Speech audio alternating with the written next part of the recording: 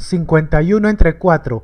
Para dividir empezamos viendo este primer número y como es mayor o igual que este de adentro, en este caso mayor, empezamos con este mismo 5. Así que 4 multiplicado con qué número me acerco al 5.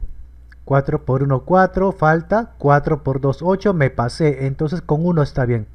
4 por 1, 4, debajo de ese 5, ahora se resta, 5 menos 4, 1, y como ya se restó, baja su compañero acá el 1. Ahora es 11. Ahora, 4 eh, multiplicado con qué número me acerco, a ver, 4 por 3, 12, me pasé, 4 por 2, 8, ¿verdad? Ahora se resta, 11 menos 8, 3. Ahora, y como ya no hay nadie que baje, ahí terminaría la división si es que no necesitas decimales, pero si necesitas decimales tenemos que continuar. Como tiene que bajar alguien y no hay nadie, se completa con 0, así.